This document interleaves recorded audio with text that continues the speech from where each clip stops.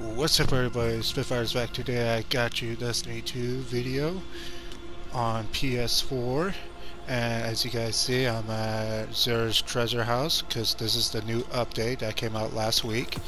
And I bought two of those with the coins. And apparently I got a exotic weapon, exotic gear because you could get exotic gear because I've been grinding on this so long and I finally got it today.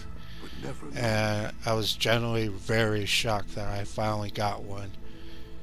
And here she is Thunderlord I got Thunderlord and I was generally shocked about it that I thought it's going to be very hard to get it and it was hard.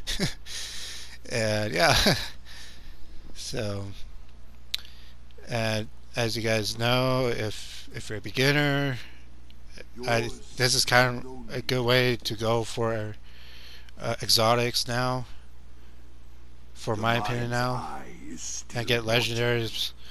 So you can do this activity, Dares of uh, Eternity, there's a Eternity.